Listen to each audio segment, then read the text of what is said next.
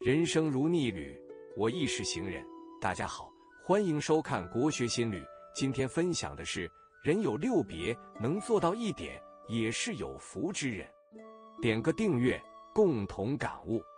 一个人知道什么能做，什么别做，才能有所作为。倘若随心所欲、肆无忌惮，必定庸碌一生，追悔莫及。直到退休之后，很多人才明白。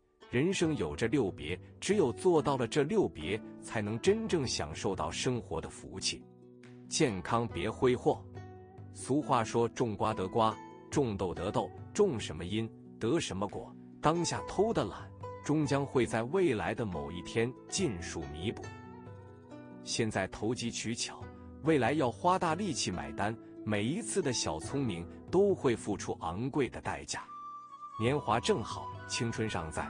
很多人把自己当成是金刚不坏之身，于是拼命工作，熬夜晚睡，暴饮暴食，肆意透支和挥霍健康，直到有天身体亮了红灯，小病大病接连找上门来，才幡然醒悟：健康永远凌驾于一切之上。没有健康的身体，拥有再多都是枉然。这世上最可怕的，不是缺钱，不是缺爱，而是缺命。有人说。健康就是数字一，其他的都是一后面的零。弄丢了健康，就弄丢了一切。不管你有多少金钱，有多大的房子，都会成为别人的，甚至化为乌有。有了健康，才能去创造财富，陪伴家人，实现价值，幸福自在。《小窗幽记》中说。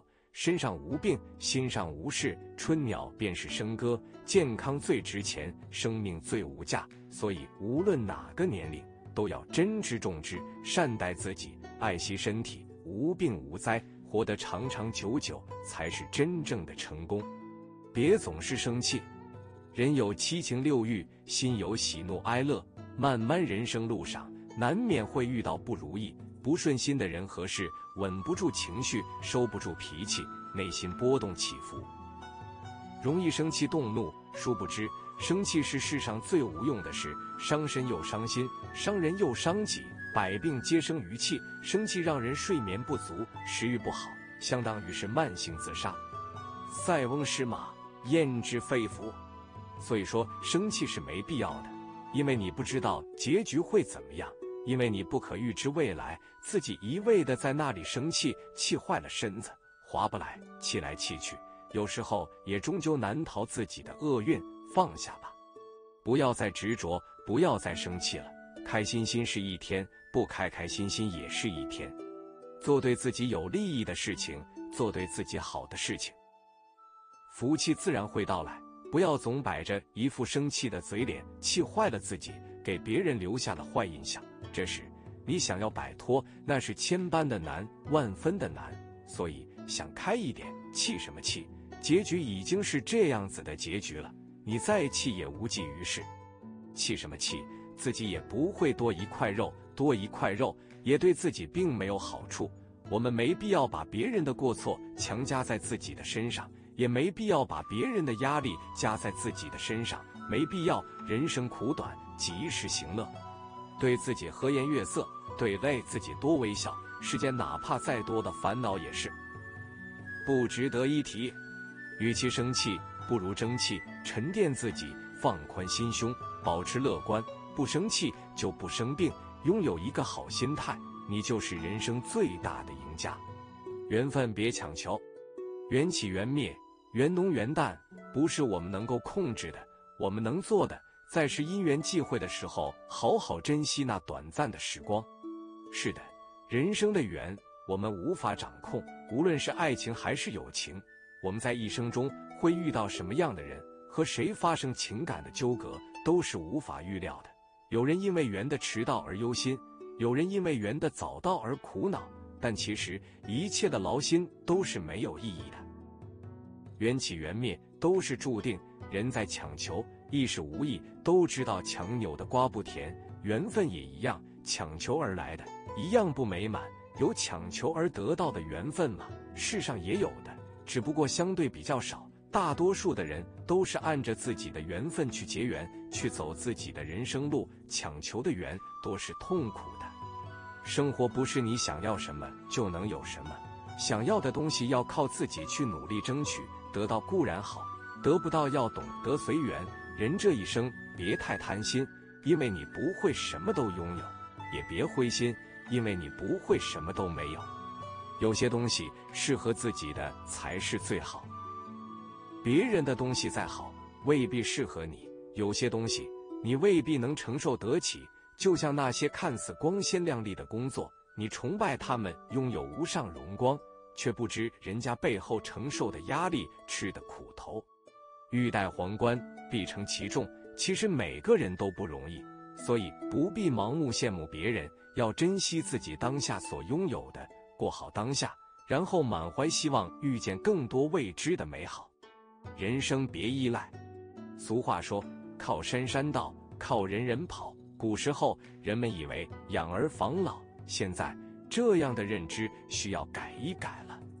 不可否认，绝大部分儿女都是孝顺的，因为回报父母是为人之本，是每一个子女应尽的义务。可世界之大，无奇不有，在这个世界上，总会有一些另类存在。去孩子家住，终究是不长久的，说不定儿媳妇还不愿意，那么矛盾就更多了。有一天，他们不想自己住下去了，自己又没有房子住，那么老人养老就更难了。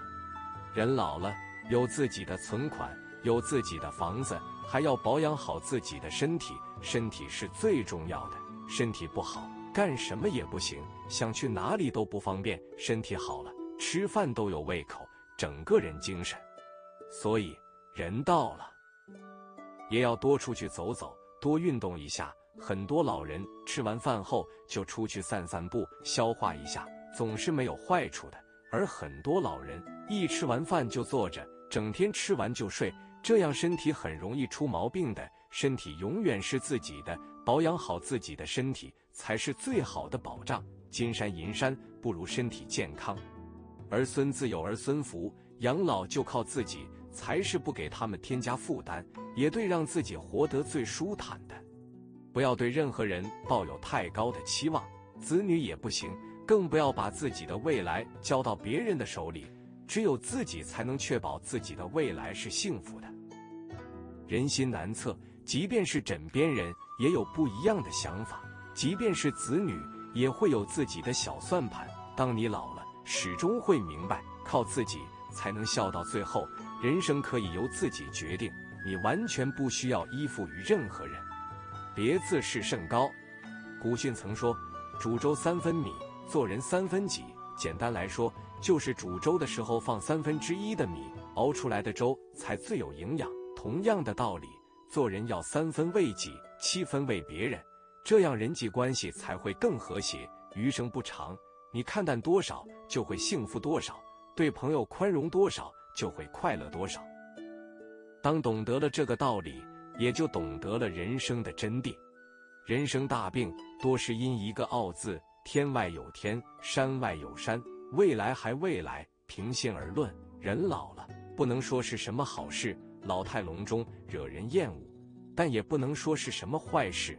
人一老，经验丰富，识多见广。一个人，老年人当然也包括在里面。最不喜欢别人瞧不起他，一感觉到自己受了怠慢，心里便不是滋味。甚至怒从心头起，拂袖而去。有时闹得双方都不愉快，甚至结下怨仇，这是完全要不得的。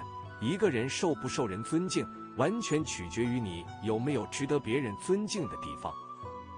在这里，摆架子、倚老卖老都是枉然的。别亏待自己。老年人有时喜欢多心。佛语有云：“眼中有尘三界窄，心中无事一床宽。”有的子女脾气不好，一旦不符合意愿，就撂脸子、耍脾气，甚至出言不逊，所以父母十分害怕，说话行事小心翼翼。人老了，请活得贵一点，别亏待自己。蔡康永说：“对自己好一点，那是会跟你在一起最久的人。”人生路上，走到晚年余下的时光，谁都不知道还有多长，与其垂头丧气的等待，不如好好的过每一天。生命有限，放松精神，为自己而活。从后的日子，别再轻易亏待自己了，高贵的活着。人生路上阅经千帆，很多事情都已经看淡。人老了，不要太在意生命会在哪一刻结束，而是要平静的面对一切。在晚年，用心生活，让自己在每一天都能有一个好的心态，保持自己的节奏，学会宠爱自己，关心自己，命运就不会太差。一个人年轻的时候，天不怕地不怕。总是能打造无限多的福气。退休了，就要开始学会守住福气了。持续学习，做好事，这是以公为首，维护健康。珍惜家庭，这是以守为攻。别等了，从当下开始，做个幸福的人。以上就是今天的全部分享。如果你也喜欢本期内容，欢迎持续关注、点赞、订阅。